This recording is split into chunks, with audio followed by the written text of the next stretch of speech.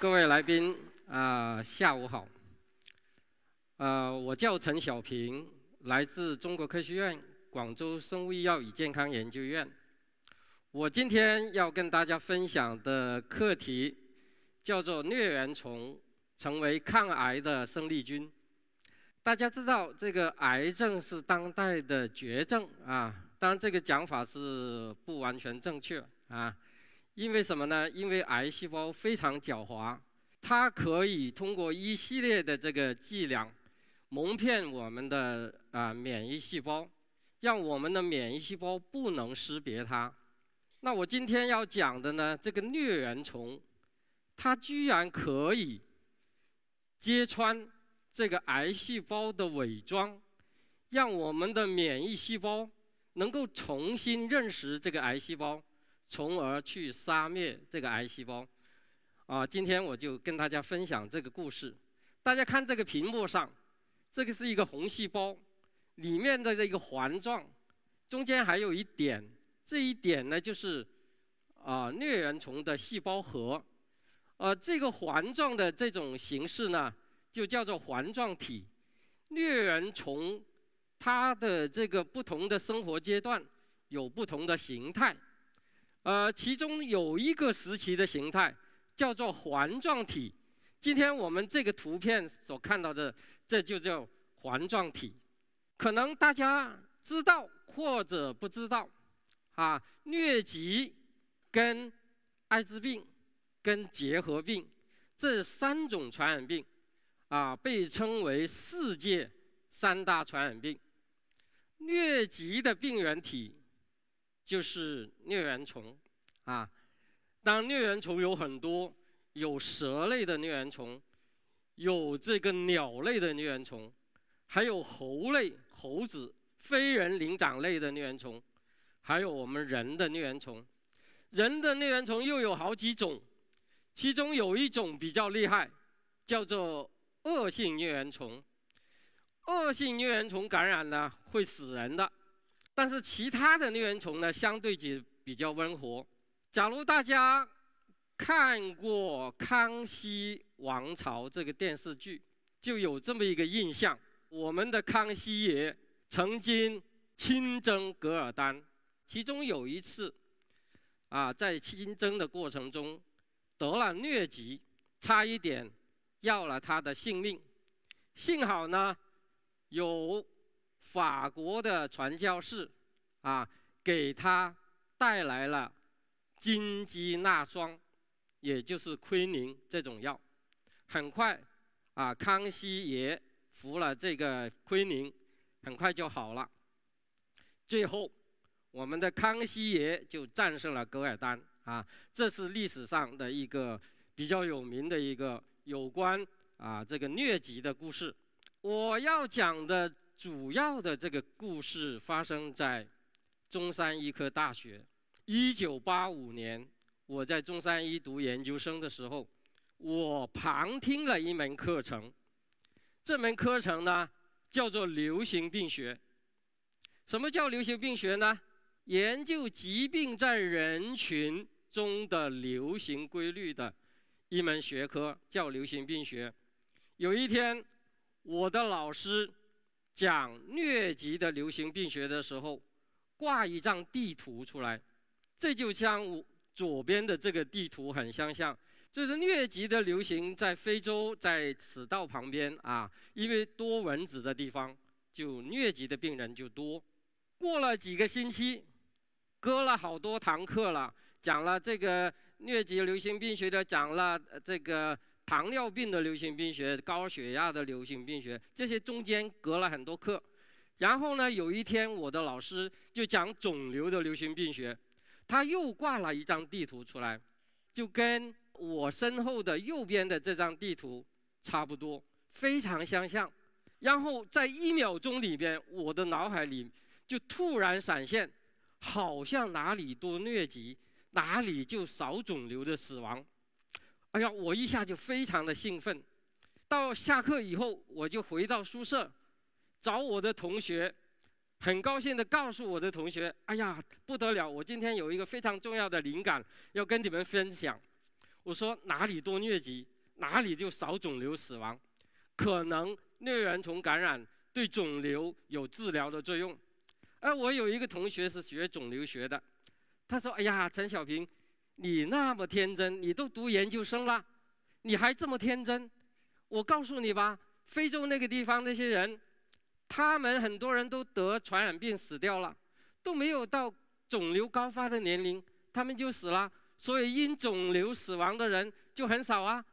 啊，我建议你不要胡思乱想，不要浪费时间，啊，好好学你的免疫学。”学你的感染与免疫啊，因为我是学感染与免疫的，哎，但是我老是在想这个问题，这个我的同学说说的也对，假如除了这个因素，他真的哪里多疟疾，哪里就少肿瘤死亡的话，那这可是一个重大的科学问题耶。但是呢，在当时，世界卫生组织没有一个公开数据库，啊，过了十几年以后。世界卫生组织才有了一个关于所有可能的疾病的公开的数据库。我的团队呢，就跟美国哈佛大学的统计学教授合作。这位教授一听我说这个这个东西，他就觉得非常重要，很乐意跟我研一起研研究这个问题。然后我们是收集了全球所有国家的疟疾发病率的数据和肿瘤死亡率的数据。我们还收集了非常多的数据库的数据，包括联合国的公开数据库、世界银行的公开数据库、美国有关人口的公开数据库，所有能够用的数据库我们都用了，把所有可能混杂的影响因素都剔除了以后，我们确实发现疟疾的发病率跟肿瘤的死亡率总体的死亡率。是呈显著负相关的，这个论文已经在国际上发表。但是仅仅靠这个大数据的分析，我们还不敢相信疟原虫感染对肿瘤有治疗的效果。然后我们就进行一系列的这个小鼠模型的研究，历经十多年，成千上万只小鼠都给我们用了，我们就发现疟原虫感染的确是。显著的延长褐瘤小鼠的寿命，包括肺癌的小鼠、肝癌的小鼠、乳腺癌的小鼠，还有结肠癌等等实体肿瘤的小鼠的寿命都显著的延长了。那我们在这个时候才相信，疟原虫感染的确是对肿瘤有相当好的疗效，但是。背后的原理是什么？作为一个科学家，你不能就是看到这个现象就完了。我们就进行一系列的这个研究，啊，经历了十四年的这个机理的探讨，我们就发现呢，疟原虫感染可以非常强烈的激活天然免疫细胞，就是 NK 细胞。这种细胞激活了以后呢，可以杀灭一部分的肿瘤细胞。这个肿瘤细胞死亡了以后，它的抗原释放的这个抗原，跟疟原虫感染两个因素同时存在的情况下，激活了 T 细胞。大家知道，T 细胞是抗病原体和抗癌的主力军，T 细胞被激活，就更有效的杀灭肿瘤细胞。特别是肿瘤内部的 T 细胞被激活了，那就非常有效的杀灭这个癌细胞。用老百姓的话来说，刚才我讲的这些原理是怎么什么意思呢？就是癌细胞分泌一系列的信号，让我们这个免疫系统睡眠不工作，而疟原虫感染呢？恰好是唤醒了我们的免疫系统，激活我们的免疫系统，让我们的免疫系统重新认识、识别这个癌细胞，从而杀灭这个癌细胞。通俗的语言就是这样说。但是呢，经过十几年的研究，发表了一系列的科学论文，啊，也没有这么简单啊。但是今天的时间有限啊，只只是这么说一下。刚才讲的是疟原虫激活了免疫细胞，同时疟原虫还还干了一件非常漂亮的工作，它让这个患肿瘤的小鼠啊，它的肿瘤里面的血管几乎消失，就是说抑制肿瘤的血管生成，或者你生成的血管让你血管壁的细胞凋亡，让你死掉。让你这个肿瘤里面没有血管供应，切断你的营养供应，这个作用是非常明显的。大家看这个图，这个左边这个呢是没有疟原虫感染的肺癌的组织，有大量的啊这个血管里面有很多红细胞。右边这个呢就是有疟原虫感染的肺癌组织，切开来看，几乎没有血管。好像有一条血管，但是血管里面几乎没有红细胞，也就是非常彻底的切断了肿瘤的血液供应，让肿瘤不能生长，或者让肿瘤细胞饿死。刚才讲的都是一些基础研究，就是机理，为什么可以啊治疗癌症？当我们回顾一下，在历史上曾经有科学家利用疟原虫感染。治疗一种非常严重的疾病，叫做神经性梅毒，也就是晚期梅毒的一种。在上个世纪，啊，早期青霉素还没有发明，神经性梅毒像今天的晚期癌症一样，也被称为不治之症。那个时候，假如得了神经性梅毒，也等于是判了死刑。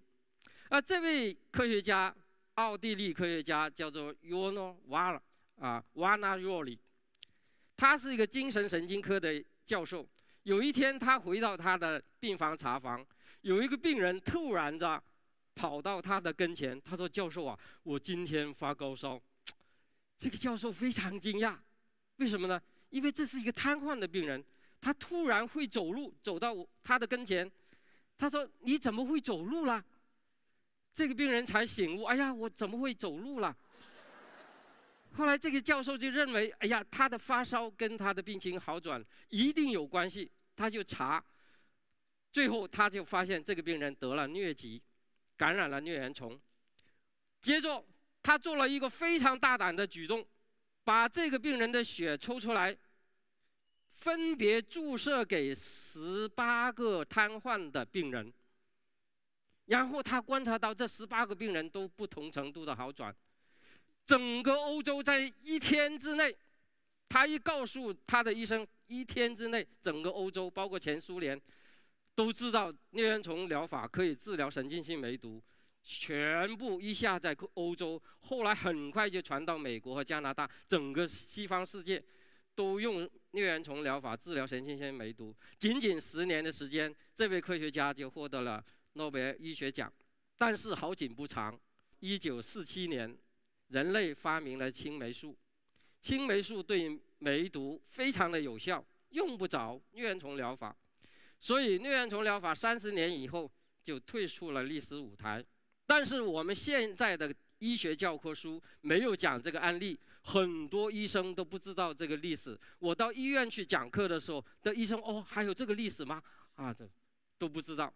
那因为这样的一个发现和这样的一个历史，我们就提出利用疟原虫免疫疗法治疗晚期癌症的这样的临床研究。我们跟广州医科大学的钟南山院士合作，啊，最早在他们医院，接着在广州复大总医院，再接着就在昆明的这个云南昆冈医院三家医院开展这个临床研究。这个就是前年啊，在这个启动会的时候，中间那位先生就是大名鼎鼎的钟南山院士。我们从这个这个灵感的出现啊，到申请临床试验，经历了三十年，然后我们从申请临床试验，再到批准，是历经了三年的伦理这个伦理答辩啊，这是相当不容易的。为什么不容易呢？因为很多医生担心，一个晚期癌症的病人，你再给他感染疟原虫，那不是要他的命吗？对不对？但是我们当时就跟他们解释，我们可以用屠呦呦啊老师发明的青蒿素，把疟原虫控制在一个安全的水平，这个说服了这些医生。哎，还有一些医生的提出一个更挑战的问题：那你在我们医院开展这个疗法，会不会传给你这个疟原虫传给其他病人呢？我又跟他们讲这么一个故事，就是我们广州的确有很多蚊子。蚊子是传播疟疾的媒介，这个是肯定的。但是几乎没有一个人知道，我们广州市没有传播疟疾的这种暗蚊。我们的蚊子是什么呢？大部分都是衣蚊，就有花瓣的花纹。而且这个花纹呢，它咬我们的时候，它的身体是跟我们的皮肤是平行的。但是传播疟疾这个暗蚊呢，它的尾巴是翘起来的。呈跟我们的皮肤呈四十五度角，我们广州市从来没有这种暗纹，没有人发现在广州市有这种暗纹。假如有谁发现，在广州市可以奖励一万块钱。广州 CDC 曾经是有这么一个一个奖励的政策的，但是到几十年过去了，没有人发现有这种暗纹。后来这个医生，这些医生还不敢相信，要让 CDC 的人的专家来测，来这个医院测，看看有没有发现，在那里搞了好几十天都没有抓到这个暗纹，最后就通过了。现在有大概三十多例病人已经接受了这个治疗，最初的十例已经观察了一年就有结果了。这十例病人都是任何其他方法治疗都已经没有效，或者是已经是耐药的。无路可走的病人，那这十个病人里面呢，观察到五例是有效的，其中有两例可能已经被治好了。什么叫治好了？没有肿瘤了，或者肿瘤死掉了啊？我就讲一讲这两例可能被治好的病人，看看这个感染成功了以后，啊，给这个病人打一毫升含有疟原虫的血，就就完了。这个治疗就这么简单，打一针。那个红色的箭头就是青蒿素，那把它压下来，压一次、两次、三次、四次，就把它压到很低水平。然后呢，这个病人就没有什么很严重的副作用，或者是说有很严重的并发症都没有。然后大概一个月，他颈部的所有的转移病灶完全消失。然后呢，我们就用 CT 来看他肺部的这个病灶，那肺癌嘛。就哎呀，他的病灶还在啊！我们一下就就凉了，好像，我们就请这个胸外科的教授来会诊。这个教授一看这个这个胸片，他说：“哎呀，这个性质发生改变了。那个治疗前这个是一个典型的癌症的，有像一个螃蟹状的那个那个形态。呃，治疗以后呢，像一个斑块状，就是没有尾足了，就是好像包裹了，或者是已经是一个瘢痕，是一个可能是一个死的病灶。”他就建议可以用一个微创手术，在在旁边插入一个一个管，然后就把这个这个病灶拿出来就可以了。哎，这个这个病人就同意这位教授的建议，啊，就把这个这个肿瘤拿下来了。拿下来以后呢，的确这个肿瘤呢就是已经有包裹，有包膜包裹了。有包膜包裹是什么呢？它就是不容易转移了。我们把这个肿瘤切开来看，你看看这个右边的这个，它肿瘤里面大量的免疫细胞包围了少量的癌细胞。左边那个呢是没有经过疟原虫疗法治疗，同一种类型的癌癌组织的切片，全部都是癌细胞，几乎没有看到免疫细胞。那这个病人的病灶呢，大部分的都是免疫细胞。这个跟我们小鼠做的这个实验切开的这个肿瘤。完全是一致的，大量的免疫细胞在里边，干什么呢？肯定是去杀灭肿瘤细胞啊。这个疤痕拿出来以后，这个病人就没有病灶了，颈部的肿瘤又消失了。那现在这个病人差不多两年了，也没有复发，好好的。山西太原的一个病人，每天都出去散步啊，天下雪他都去散步啊。这个病人本来就判断他是三五个月的寿命，现在已经差不多两年了，还好好的。第二个病例呢，就是一个晚期前列腺癌，啊，多发性骨转移，已经疼痛很厉害，要服用很多呃这个止痛药，而且不能正常走路。他来的时候呢，就是一掰一掰的，啊，就是不能正常走路。他接受治疗大概也是一个月左右，他的疼痛就消失了，可以正常走路了。大概三个月就结束治疗，回四川老家。但是他出院的那天做了 CT CT 的检查呢，肿瘤大小不变，并没有说肿瘤缩小了或者消失了，没有。到回老家以后四个月，在当地的医院复查，当地的医生告诉他，你的肿瘤缩小了。这个就是让我非常吃惊，他不是在治疗期间肿瘤缩小，而是治疗结束后四个月肿瘤才缩小。那这个病人我们就不敢相信他当地的 CT 的结果，请他回广州做一个更先进的检查，啊，叫做 PET-CT。这个 PET-CT 一看，他原发病灶的那个代谢活性消失了没有了？用老百姓的话来说，他的肿瘤死掉了。只是留下一个疤痕，上面那个图那个交叉线的那个那个代谢活性是没有了，所以这个病人呢，到现在一年半，没有任何的临床症状，完全恢复正常，正常的劳动，正常的，他还是一个村书记。他因为来广州之前，医生告诉他你大概半年左右的寿命，他就把这个书记的职务辞掉了。就来广州治病，而现在一一年半过去了，他打电话给我，哎呀，陈教授，我当年辞了这个书记，很后悔。我说你的命都已经救回来，还后悔什么？你要害 他他他说我跟你开玩笑，他说我已经早就到年龄了，是吧？呃，就说明这个病人呢非常好啊。这个这个治疗效果现在这个这个完全恢复正常。为什么他四川的知道我这个疗法呢？因为他的儿子跟我的一个博士研究生是同学，啊，所以就接受了这个治疗。最后呢，我想谈一谈我的这个追求，啊，我的毕生的这个梦想呢，追求呢，就是战胜癌症，啊，我希望这个疟原虫免疫疗法。能够推广到全球。另外呢，我们实验室也在改改造这个疟原虫，基因改造，把它变成这个癌症疫苗。我们还发现，疟原虫有一个非常神奇的蛋白，它可以跟人类的各种细胞结合。我们把这个蛋白的基因克隆到病人的 T 细胞里面，让这个 T 细胞能够啊，在这个蛋白的导航的情况下。进入肿瘤，杀灭肿瘤细胞。我们希望这三三种疗法同时这个应用，可以战胜这个癌症。啊，我的演讲到这里，谢谢大家。